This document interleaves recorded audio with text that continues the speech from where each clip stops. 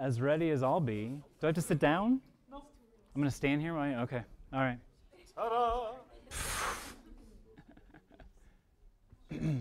Hello, and thank you all for uh, coming to this colloquium in our unusual location of the Nightingale Gallery. I mean, not unu- unusual. unusual for the colloquium, not an unusual location. It is my pleasure to introduce Mike Sell, uh, who will be talking about uh, No Photos Please, his display on the walls around here. Uh, Mike was born in Detroit, and his photography has been exhibited throughout Michigan and Oregon in select shows in Chicago, Los Angeles, New York, and cities in Europe.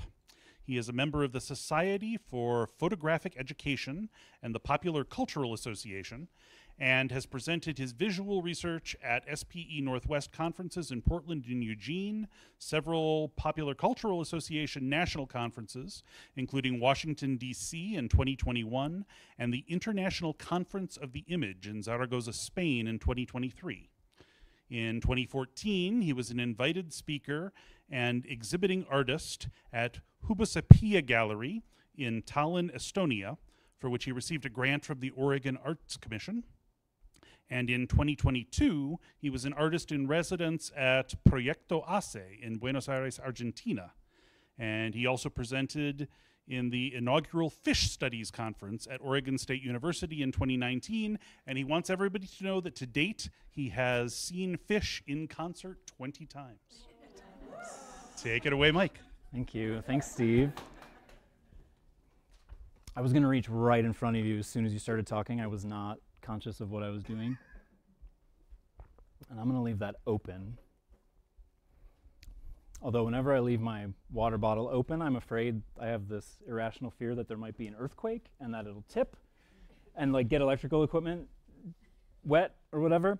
Um, uh, thanks everybody for coming. I'm uh, really excited to present this work in this format and to talk about it in this kind of uh, new way as I've investigated these sort of new concepts uh, that kind of grew out of culminating the work or compiling the work and putting it together for, for this exhibition specifically. Uh, before I get started though, I want to thank Steve Tanner uh, and Jared Jolin, I know he's in here, there he is, uh, as members of the colloquium committee for being gracious enough to allow us to move things in here. Uh, for A.D. Bjork, who presented colloquium in January, but was kind enough to swap the booked slots so that I didn't have to present colloquium while we were still literally installing the show.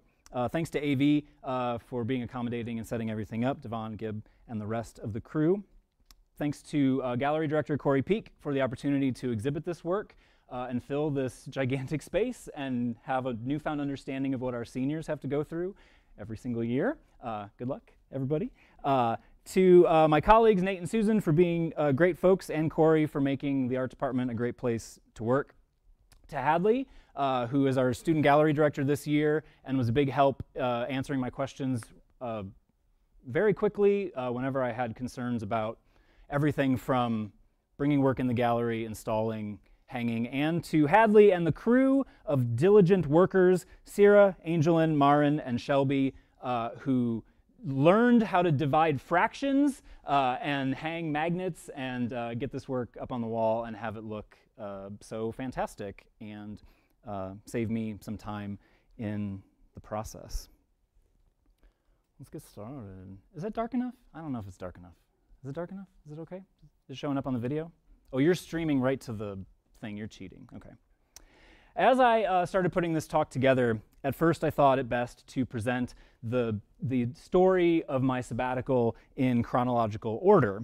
But in the last few years, we've seen a technological shift away from reading information or seeing information in chronological ways as the norm shifts towards an emphasis on algorithms and hierarchies. When we pick up a phone and when we turn on uh, Facebook or Instagram or whatever uh, the kids are using these days, uh, we don't see the most important, or the, sorry, we don't see the most recent posts first and then scroll down to see uh, older posts following in the old, like we did in the old days. Instead, we now see the most important images first. And we've become, as viewers, beholden to the algorithm and the machines we carry with us in our daily lives. The same is true of a curated exhibition, such as this, because uh, I got to put stuff where I wanted to put stuff. Uh, and as such, my talk will utilize the same tactics. So settle in uh, and let me, the machine in front of you, tell you about the most important elements of my sabbatical in the order I choose.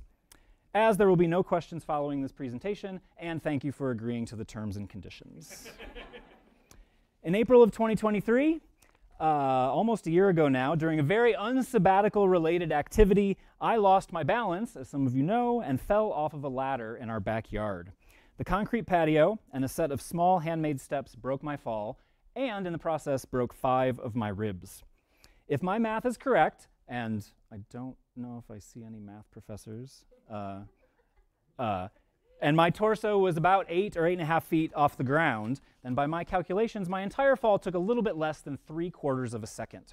Lots of things changed for me, it might go without saying, between the time it took for me to fall the time it took for my wife Jessie to come find me, laying on the ground, helpless, uh, the time before the ambulance arrived, actually, they sent two, don't know why, uh, the time I spent in the hospital, and the many weeks of recovery and sitting around that followed all of this. Now, 313 days later, as of today, it feels like this all happened ages ago, and many of these different perceptions of time live within the work that I've presented here in the exhibition. While I was laid up with broken ribs, I turned to the computer and my phone to make new work because there wasn't really much lugging around photography equipment. There wasn't really much lugging around anything. These aren't exhibited here, but the work was a collection of what I've called digital rugs, or these pattern designs uh, that I made using photos that I took while walking the dog or just sort of uh, putzing around the house. I made these on my uh, iPhone with a layout app where I could uh, turn and rotate and mirror images. And then as these uh, designs got more and more complex, they turned into these sort of very decorative um, designs like you see here. This work, though, dates back to 2017. Uh, I started making these sort of rugs when they were more politically motivated, using uh, Google search images of then President Donald Trump and his um, cronies and other people who were holding higher office. These new rugs, though, reflected uh, the everyday nature of the world around me as I reemerged from injury and I was able to take the dog outside. I found that I could take the familiarity of the everyday and transform it into something new and a little bit the same at the same time. I was repeating myself. The repetitive nature of this work, both in its process, which was very process oriented to make these designs, and in its final appearance, is reflective of an overarching theme within my photographic work. My artistic practice allows me to make work within the situations I find myself. The last time I participated here in our biennial uh, faculty exhibition in 2021, the work, uh, all of the work that I presented related to COVID, the pandemic, and quarantine time spent with my family. In my artist statement for that work, I addressed a compulsion to making the work in the gallery. It was, if, it was as if the work helped me to understand the dynamics of the people in our house uh, and the situation in the world outside. And it was simple, it was easy, and if it was familiar to both uh, to me, both in subject matter and to others in terms of a communal at-home experience, since that's what most of us were going through. And hey, there were willing subjects around the house every day.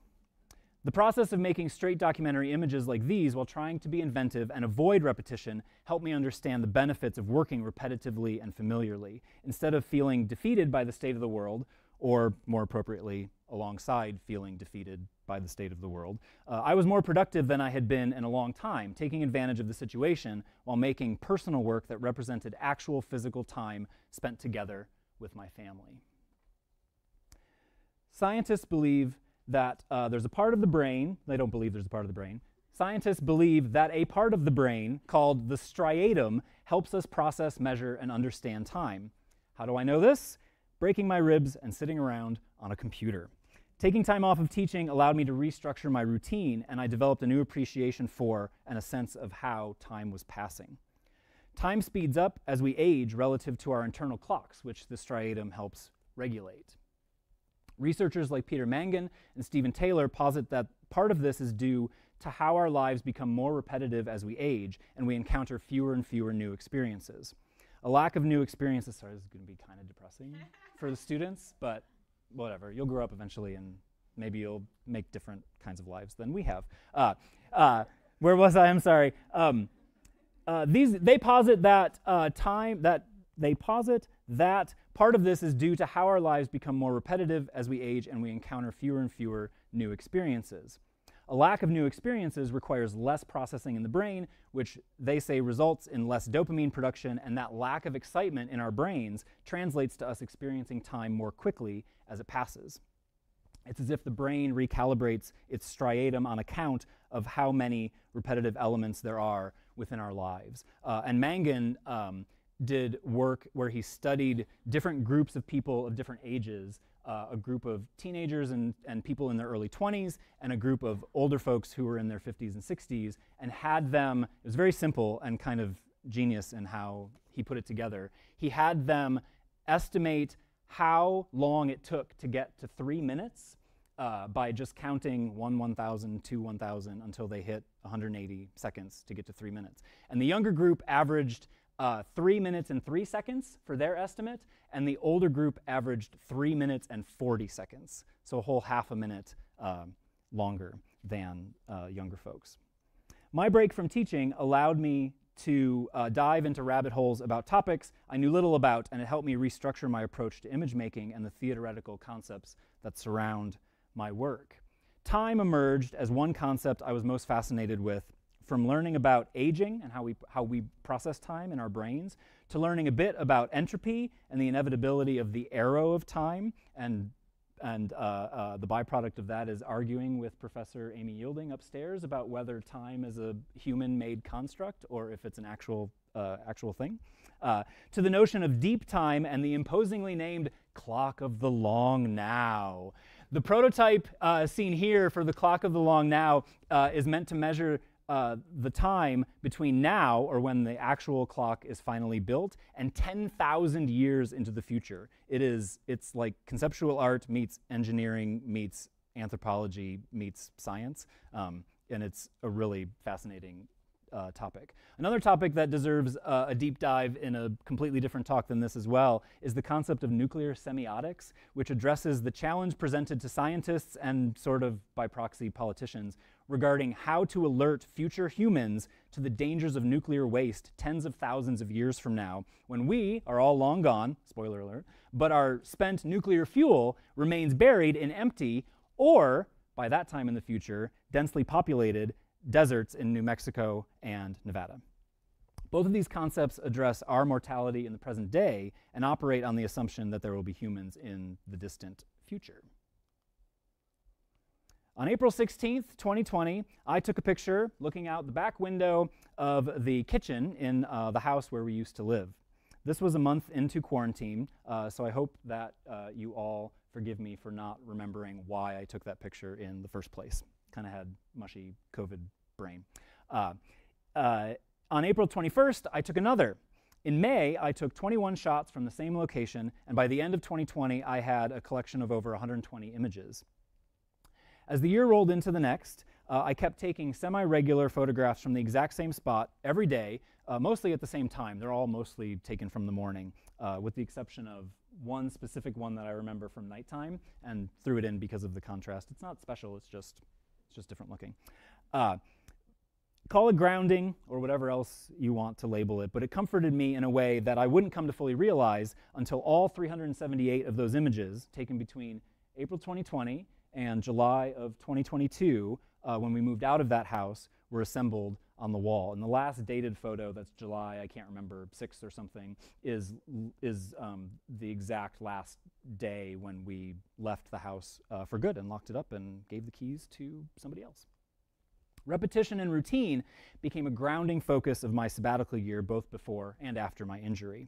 My regularly scheduled art time grew into a more and more cherished moment of uh, my days, each day almost a copy of the previous. Art critic Rosalind Krauss, when discussing the meaning inherent in photographic processes, remarked on the total collapse of difference when photographs are copied over and over again.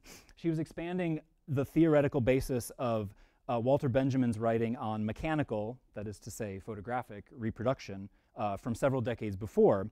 But her ideas about copying and repetition also apply to the photographic grid, uh, disintegrating the difference between the original and the copy. And in this piece, all I can do This assemblage of incessantly repetitive photos marks the passage of time like that of a visual calendar, each day only slightly different from the last, to the point that even in the face of apparent differences, snow versus rain, sunshine versus clouds, um, sunshine or glare versus non glare, uh, all the photos, though, look the same. There is a first image in the sequence as well as a final image, but there is no original image. All I can do represents the part of my sabbatical where I used my newfound available time to circle back to projects and images from years before. In fact, many of the images in this exhibition weren't necessarily taken during my sabbatical, but they were processed and created during that time. But it wasn't all time spent just sitting around looking at old work, though after I got hurt, there was a lot of that. My routine included side projects uh, where I was noticing patterns in the world that I thought deserved capturing in photographic form. Not because of uh, visual appeal per se, uh, but simply because they were repetitive occurrences.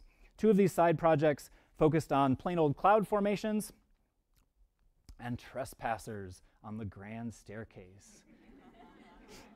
As I approached this exhibition, I knew that some of these projects, representing not only quantity but also the passage of time, needed to be featured to link dis disparate images and reinforce these ideas of time that I was exploring. And based on, based on my, I guess now natural process, you might get to see these images actually printed out and exhibited maybe in like four or five years.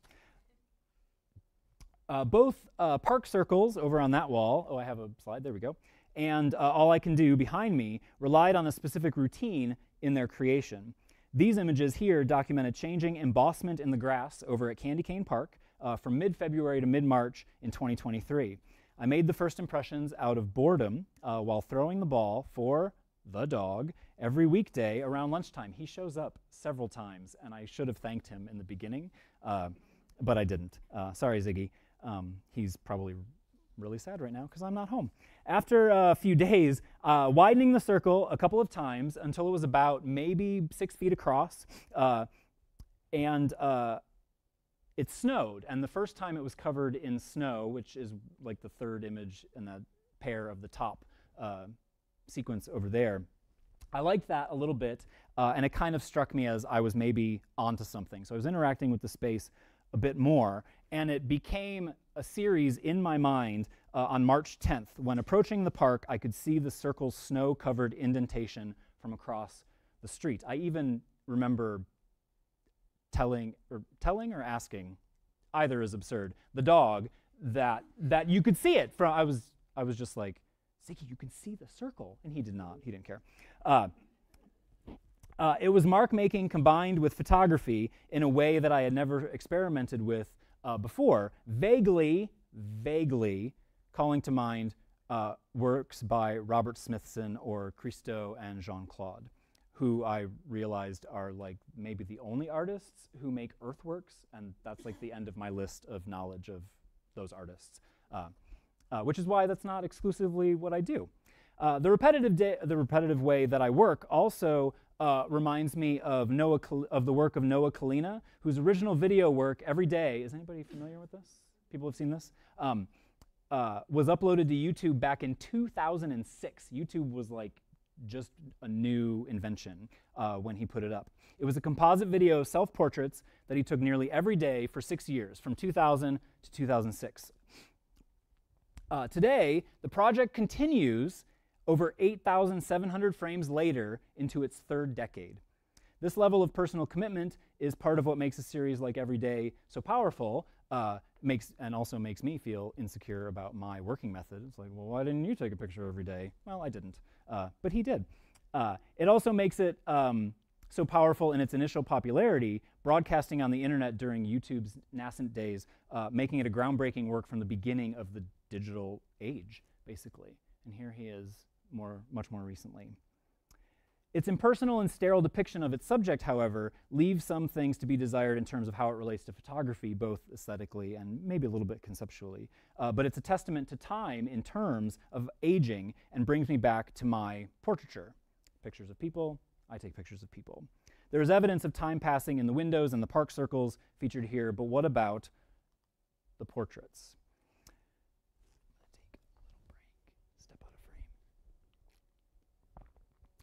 Oh, that projector fan is warming my water.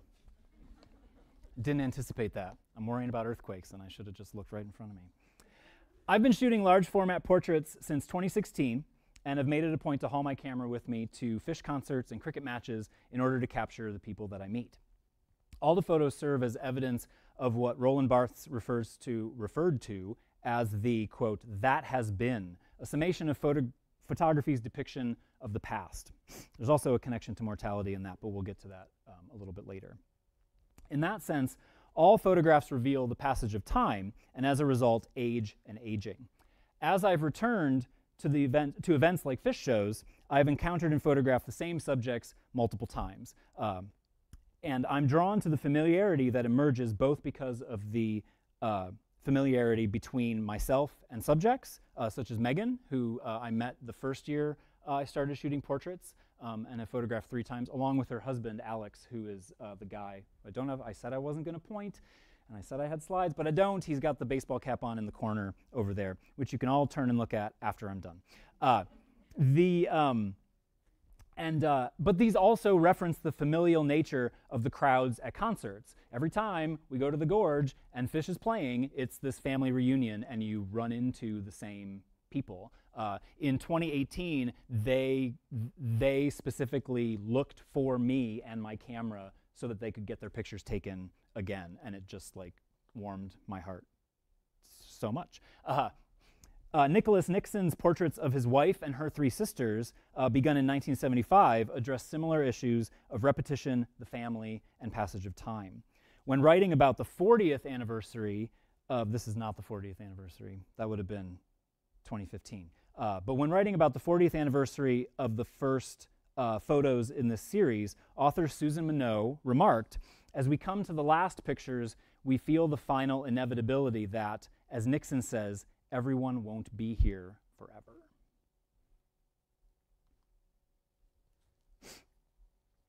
Depending on the context and the situation, I find it difficult to communicate serious emotions. One byproduct of that is to quote others, like Nicholas Nixon or Susan Minot, who can sum up things uh, much better than I can. Another way is to stand behind a camera and to use the machine to create emotional distance between you, between me, and a subject. Emotion was easy to spot over the course of a month long artist residency I was part of in Buenos Aires, Argentina, uh, back in November of 2022.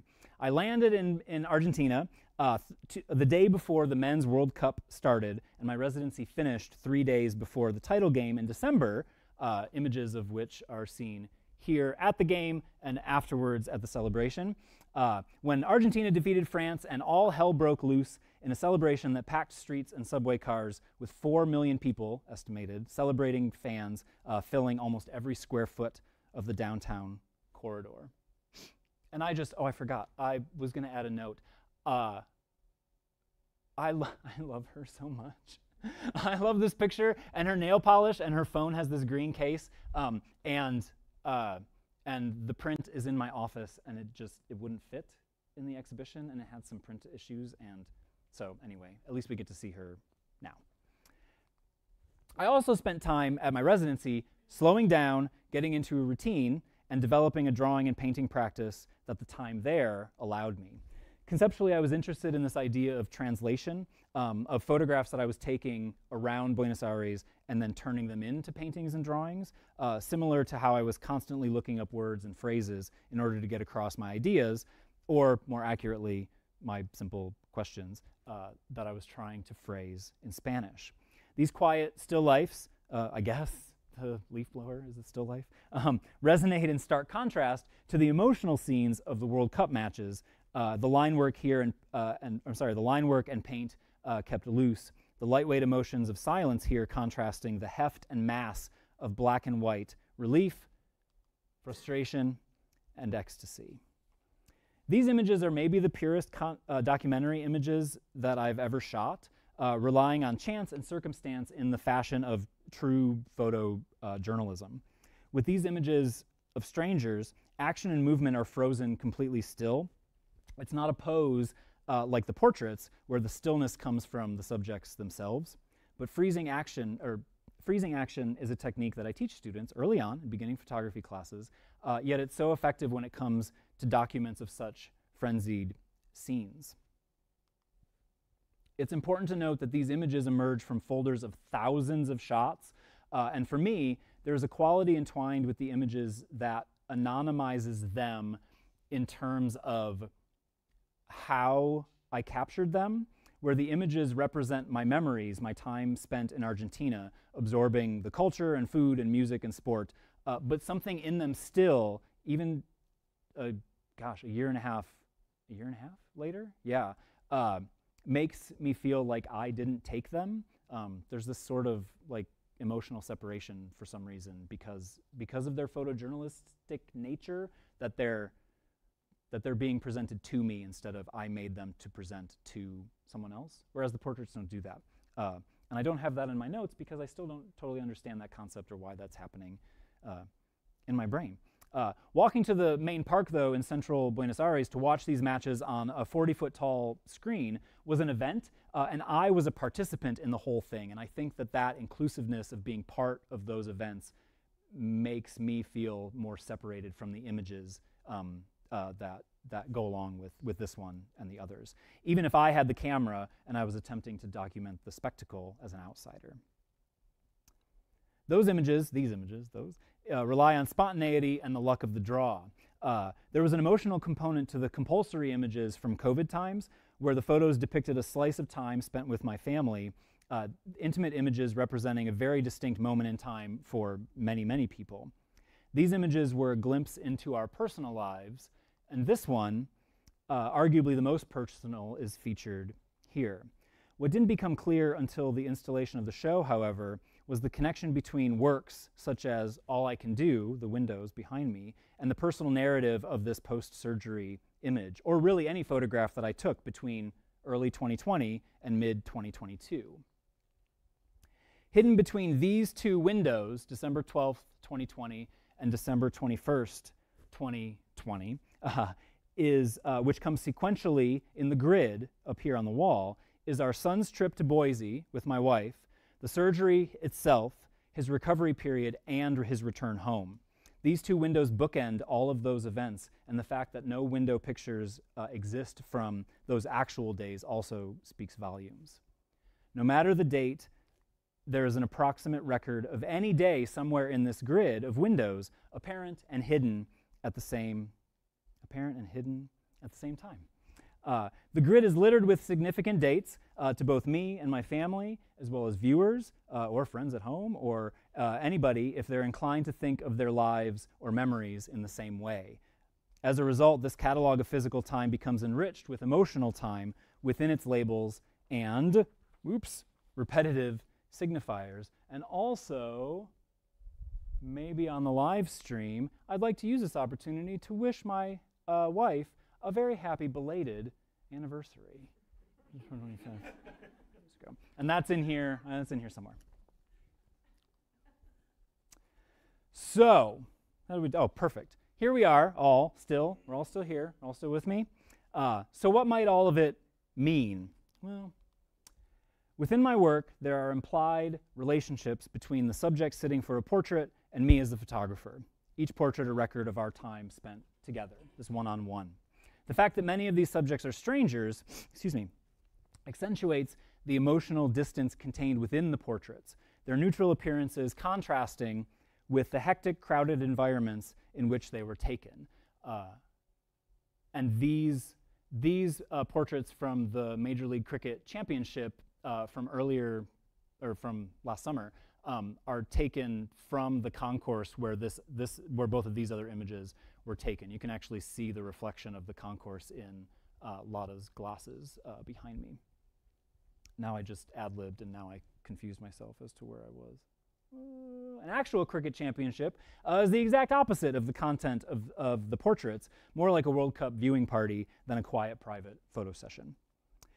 With these images, my aim is to elevate the subjects through intimacy, physical closeness, sheer size, and all the underpinnings of traditional straight portraiture, to an iconic status on par with the events that are happening around them.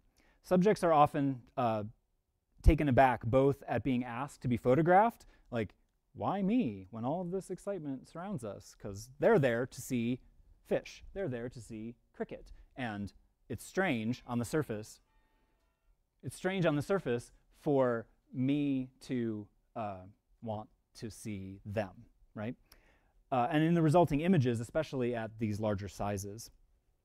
Any gathering, even the one in which we're now all participating, depends on the people existing in that space to justify it, right? Phish can't play to an empty house, uh, although they did in December 2021, because as a byproduct of the, uh, uh, it was one of the new strains of COVID, and so like things kind of shut down again.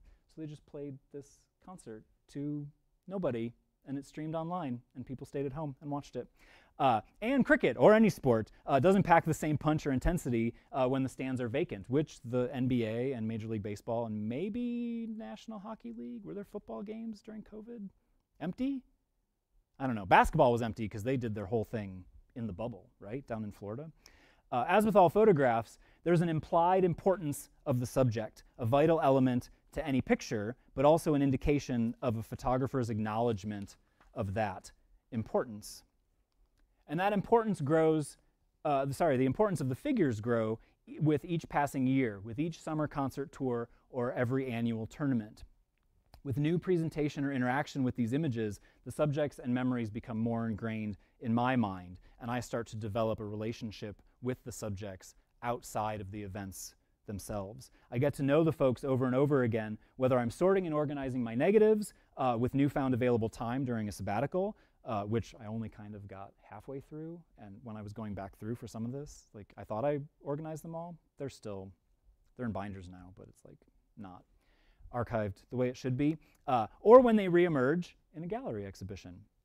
That connection, that evidence of our time spent together, is now at the forefront of the work I'm trying to make. In spite of the presentation, the formality, the stoicism, the connection with my subjects is paramount.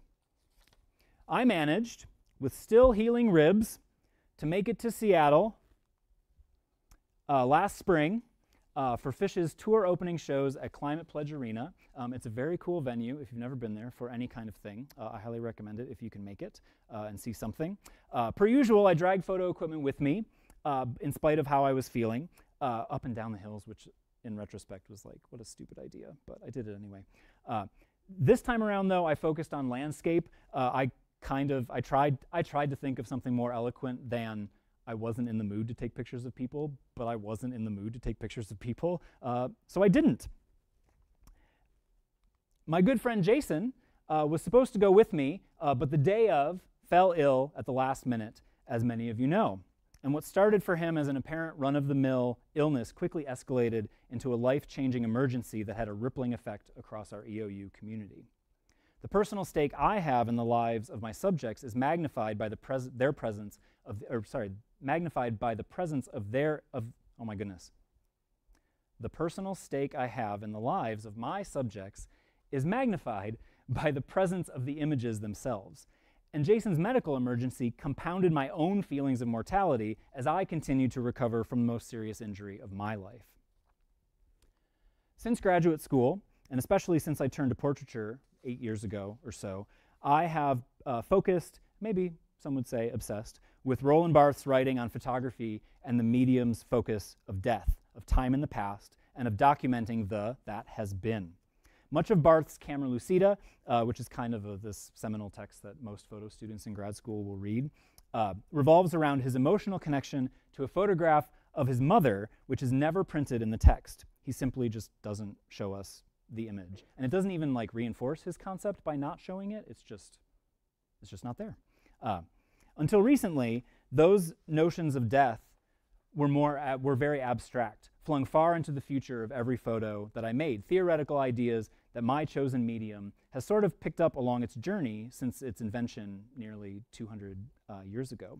That anniversary is coming up. It's like two years from now. To celebrate 200 years of photography. I think that's kind of cool. Uh, and sure, I know mortality is real and that so many images from the past are now just records of things that have long since passed and only exist as printed memories. And I know and knew that interacting with people using the camera invited a sense of togetherness among fellow Phish fans or cricket fans, allowing me to ingratiate myself into select subcultures in spite of any of my social anxieties. These guys were great, and I don't have pictures of them. I'm still like on a quest. Where's Michael Dakota? You ask me who I need to take pictures of? I need those guys because they were really fun, and I don't. And they, but they never. I said, "Come find me." They didn't come find me. Uh, my sabbatical, going backwards, official. No, it's the algorithm. My official, my sabbatical officially began when I took a road trip down to New Mexico for an antique tintype workshop in Santa Fe. And Santa Fe was awesome. I really liked it.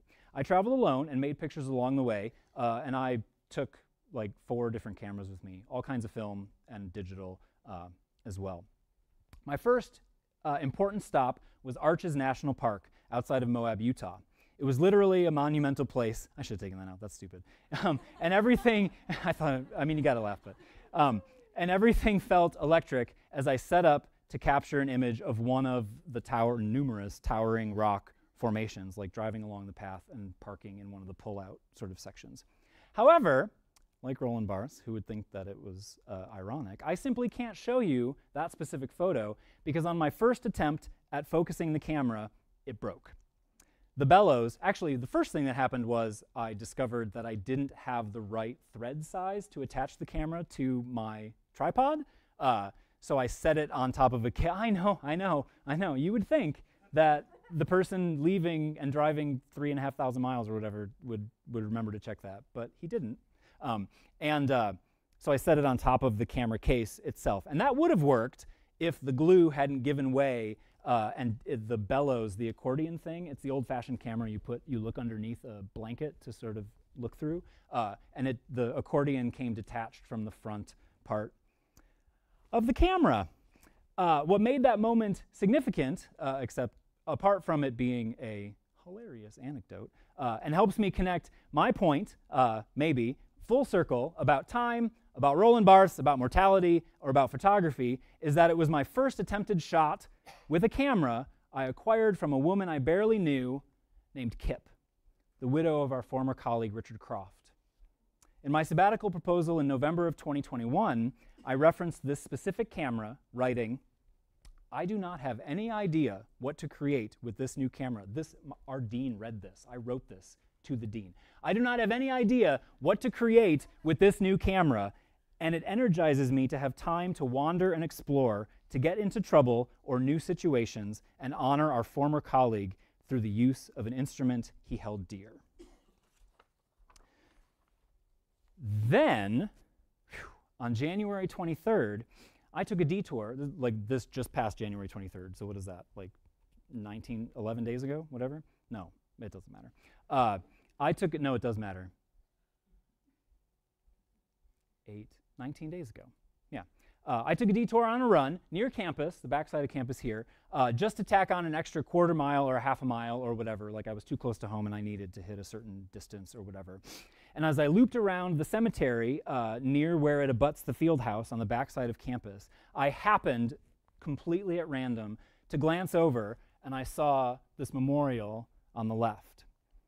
Billy Lunas was a media arts student several years ago, maybe I don't have I no longer have emails from Billy because of the email retention policy or the switch from what we used to have to Google, so that places it back in 2015 or something like that. Anyway, uh, and while he moved in and out of my classes, uh, he kind of floated through the, the um, art, media arts departments um, over a few years. Just seeing that he had passed, which was something that I had not heard about, um, struck me to my core. Uh, and I knew that that I had to. I just had I had to mention it in in this talk because of the context of everything else. It reminded me of what uh, my photographs represent. It reminded me of Richard uh, and his camera, and of Kimmy Moore, an EOU alum and another former student of mine, uh, who I remembered had passed away at about the same time in 2020. And not planned. Uh, it turns out that the day that I ran into Billy's marker in the cemetery, January 23rd, would have been Kimmy's 34th birthday to the day, which I don't know. That's something, right? And now, all of these photographs, these repetitive things that just accumulate for me, piling up because of my job or my compulsion or my desire to slow down time or remember things better or to get to know people better. These photographs have brought us all together for this amount of time, these 39 minutes. Wow, 39 minutes. Okay. Uh, these pictures are the reason you all wandered in here today, and they're the reason why I'm standing up here talking to you in the first place. But they are all inclusive, excuse me, representative of a sliver of my time on earth, of the time I've spent staring out the window, watching seasons change, seeing shows, walking the dog, or meeting people I otherwise never would have talked to. My sabbatical taught me that it's a true privilege, a true privilege to do what I do, to do what we do, and to have the opportunities to make pictures, create bonds, or have arguments, or nerd out about equipment, or cameras, or printers, or, let's admit it, Phish. And spending time away from teaching, from interacting with the students that I have the privilege to know and work with, helped me realize that even in the face of imminent mortality, uh, hopefully not as imminent as, hopefully more, less imminent rather than more imminent, uh, there are things and music and people and sports to love. And capturing them in photos might be one of the most meaningful things that I do. So, as I wrap up, let's chat because if you've got the time, I've got the inclination. I hope to see you out on the pitch or on summer tour. Thank you.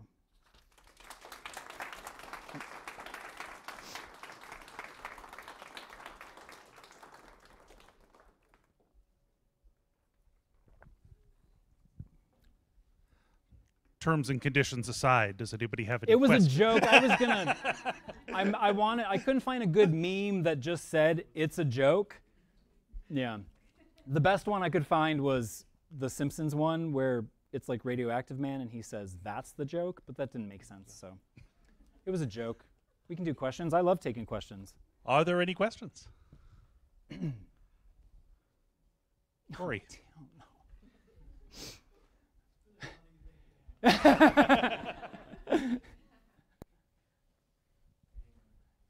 That's a Doug Kegler joke. Yeah. Is this working? Um, I know you're a aficionado, um, but I didn't know you're into cricket. What is that about?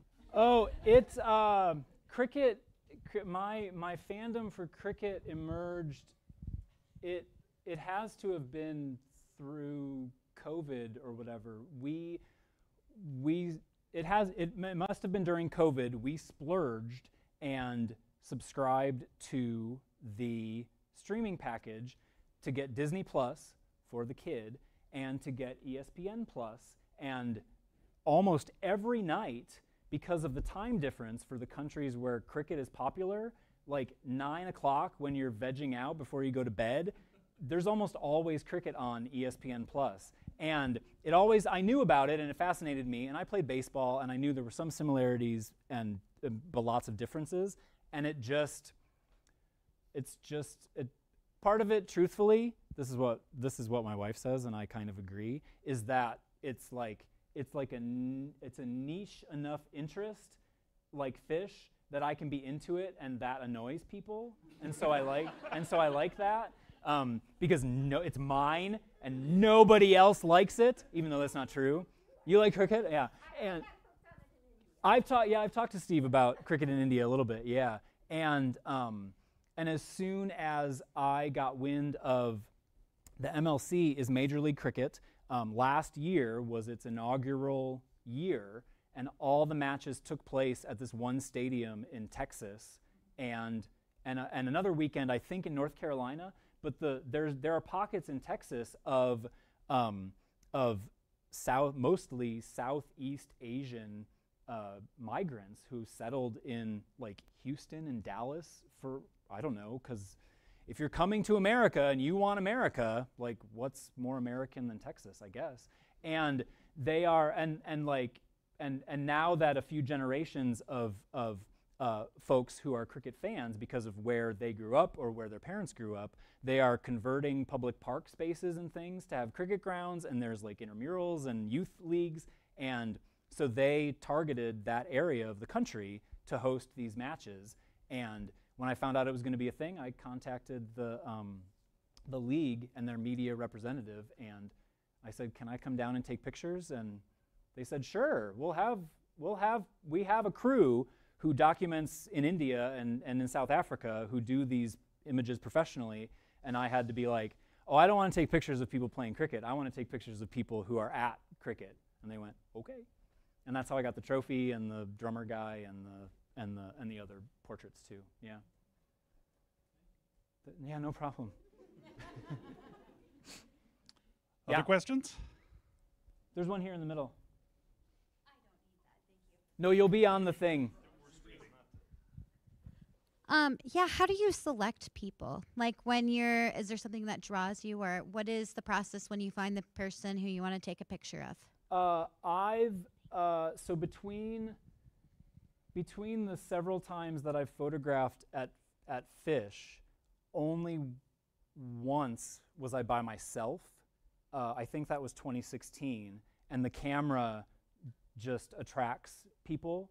Um, it's an old uh, uh, Richard's camera is um, is uh, like a more modern, contemporary, all black kind of thing. So it, it it looks like a big video camera box kind of thing.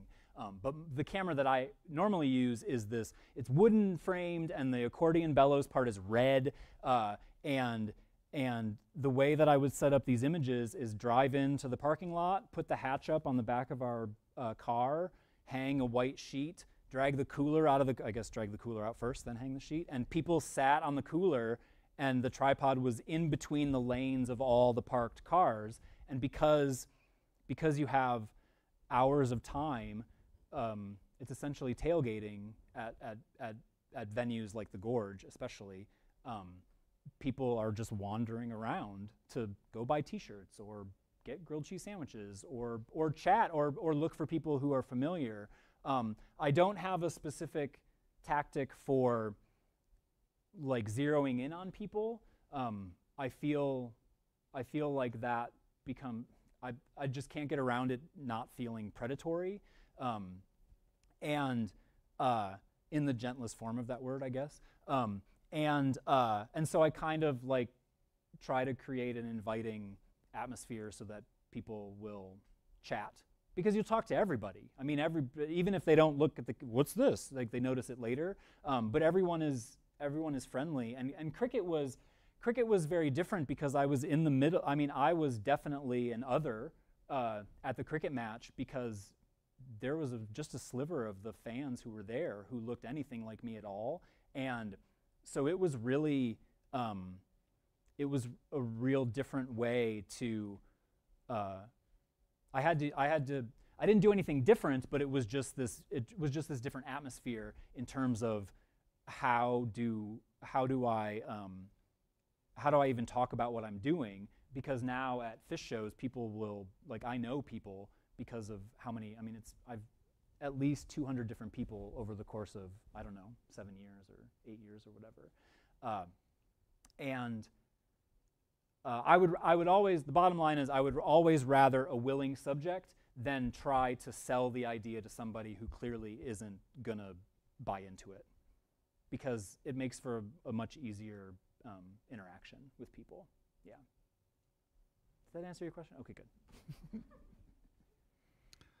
Other questions? Yeah. Better think of something. Um, so I was trying to think of a way to extrapolate this into a sexy question, but I don't think I've succeeded. You, one of your first slides was of an image, the first and only image we have of a black hole. Oh yeah, yeah. Can you, talk a little it. bit, just as a place? It's like the only place where time breaks down, in a way that. sort of. Uh, I didn't. Um, I mean, luckily, man, I was adding stuff as of. I mean, that's why I was walking up the hill with you, Corey. Like I was adding to the slides minutes before I left the house. Um, and uh, the man, space is space is so cool. Um, the uh, it um, and it kind of it it I I tried. I didn't want to really dive into it because I didn't want to cheapen the seriousness of it. That like if I don't know, I wouldn't I wouldn't want to go to a talk about uh, entropy and then have the person talking go way into detail about cameras and photography because I'd be like, dude, you don't know what you're talking, or lady, you don't know what you're talking about. Um, and uh, but um, as it connects to this work, and I mean, I, I I'm really fascinated by this idea of entropy, which is the I'm going to get it wrong, which is the the tendency of things to oh gosh, I don't have my notes. Enter, like some, I'll, let me let me let me back up. Some scientists say that entropy is what gives us time. Like it's why we have time, and it's what creates the arrow of time that moves us forward. We can always go. We are always going to the future, which is entropy, um, and it's a it's a it's the it's the progression from an ordered state to a disordered state, um, and the the so the least amount of entropy ever, literally ever, is the moment of the Big Bang because that's the most ordered, and then it's been chaos ever since. Um, and except when like certain things are it's not anti-time or anti-entropy it's like planets forming like that's the coalescence of material is like giving a sense of order but then all those now celestial objects have to interact and find their path or whatever. And we just weren't we as people we just weren't around for any of that. And so everything is like it's great to live here. And it's great to live here because if it wasn't great to live here we wouldn't live here. Um, there wouldn't be people. There wouldn't be life. Um, and so there's this interconnectedness between the ideas of entropy and how it might create time. And, and I, I didn't get into it because I, I kind of haven't fully formed the ideas, but I think to some extent the fact that photographs can, my photographs are only, I won't say they, what they can do, they are only depicting the past, that they are this pull, they are this attempt to pull us back from the continuation towards chaos. And and it is it's that's an idea that I, di- I wouldn't have expressed that way but when i was an undergrad all of my critiques were about mike you're just trying to control things you're just trying to be in control like you're trying to it's just it's all everything is ordered and symmetrical and and and and still and and and now I've kind of through sabbatical and digging into YouTube videos and research papers and books and things. It's I kind of think that that is a, an even bigger kind of conceptual idea. Uh, and the the real reason was I was that the black hole, the picture of the black hole semi relates to that because of these ideas of like, well, we don't know what happens and time doesn't like we saw Interstellar, but that's not a documentary. Uh, and but in in reality, the the circular picture of the black hole mirrors the campground at the gorge. So it was a circle. It was a circle to begin the slides, and it's a circle to end the slides. That's why I picked it. Another question over here. The black hole picture. It had words over it, so that's why.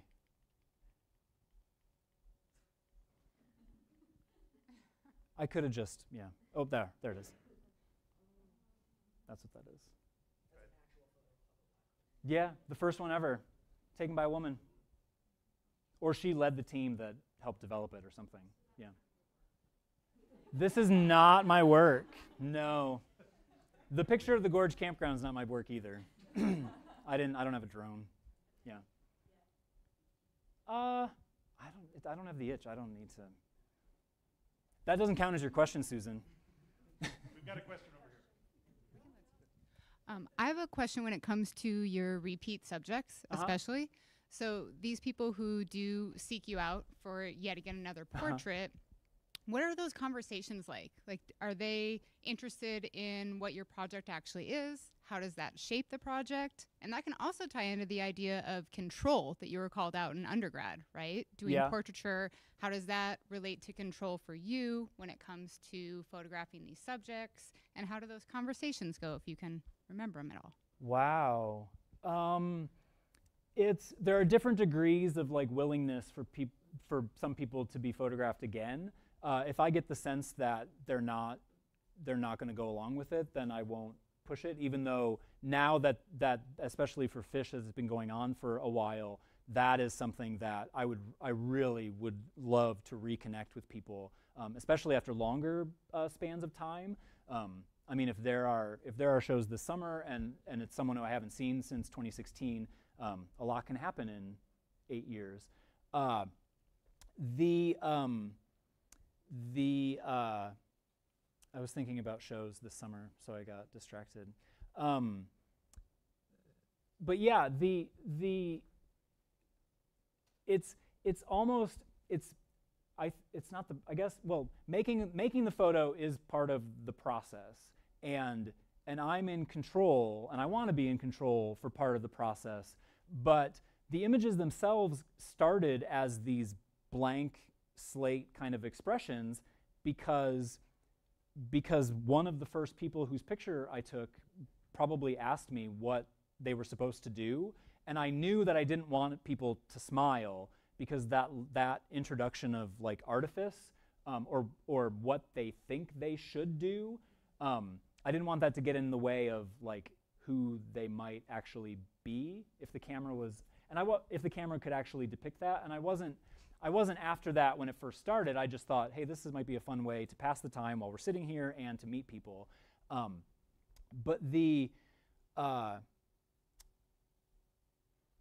so I don't I don't force a lot of movement or pose or anything in anybody unless the the way the camera works is um, it's a slow process to get started. So people sit down and I have to focus the camera, and to do that I disappear and I'm moving the camera parts forward and back, and I'll pick up the tripod and move closer or farther away. And there's this. Um, it's not even a level of discomfort I mean, it might be for some people, but it, they, they fidget and they, and they move and they will. So occasionally, uh, as I'm focusing, I will see them, uh, they'll turn. And, and oh, I like their profile, and I haven't um, and I haven't like really focused on a profile image in a while, and so I'll, I'll ask them to do that again. But it's when I'm asking them to do something specific, it's it's it's almost always something that I've just seen them do. They'll, they'll adjust their glasses, or they'll tuck their hair behind their ear, or they'll pull on their collar, or they'll run their hands through their hair. Um, or like one guy, he'll hold up his, there was a guy eh, who was walking around. He, he referred to himself as, it would be such a distraction to include the photo. He, refer, he was referring to himself as General Disarray of the Phish Army. And he was walking around with aviator sunglasses and he was handing out $2 bills to people. So he had this stack, he had this wad of $2 bills, and he was, and I was like, this guy is not going to say no to a picture. Um, and and I took his picture, and he and he just said, like, can I can I flash my $2 bills? Who's on the $2 bill? Thomas Jefferson? Is that so? He probably said, "Can I flash my Jeffersons?" And I was just like, "Sure, dude, flat, flash away." Um, and uh, it helps I find that it helps people be comfortable. So it's um, if they're doing something that they just that they just did, like if their head is tilted and then then I pop back up, I'm done focusing, and they will sometimes freeze back up, and I don't want that, and they don't want that. Um, and so and so to have them relax, I'll mention, oh, you turned your head, or look over at that guy, and because they're in groups and things too, and they'll talk to each other, and I let that play out so that I'm not the boss of that because that's not who they are. Um, the uh, this is a really long answer. You um, you asked about the repeat um, uh, subjects. The the first people were those two, Alex and Megan, um, and they they camped next to me in 2016. And so when they pulled up in the parking lot, I recognized them. They recognized me. We chatted, got pictures. Two years later, they I was in almost the exact same spot in the parking lot because my routine was the same, of course, like when the gates open and finding a spot, et cetera, and setting up. And they did almost the exact same thing and came, like they came down the row and saw my camera and ran up and had, they had used their 2016 portraits as their wedding invitation portraits. Uh, and they had them printed and displayed at their opening reception, like where people sign the guest book. And I was just flattered in this way of like, well, I mean, on the one hand, like that is what I've become a wedding photographer, I guess. uh, but the um, but the the connection that the people have to their photos later on, and the and just the we talked about this in um, in junior theory just the other day is like that response is is I value that as much or more than the response from viewers who don't have connections to the images, even though that's all, that's, I mean, that's really important um, and super interesting. But it's a, um, but it's a matter of like, uh, it's a matter of not, um, really not forcing anything. Just let it happen, man. It's just like the show. or cricket. It'll, it'll just, I don't know, that ball went sideways, I guess, sometimes. Yeah. All right. Well, I think that's all the time we have, but uh, Sure. thank you very, very much. Thank you. Thanks, everybody.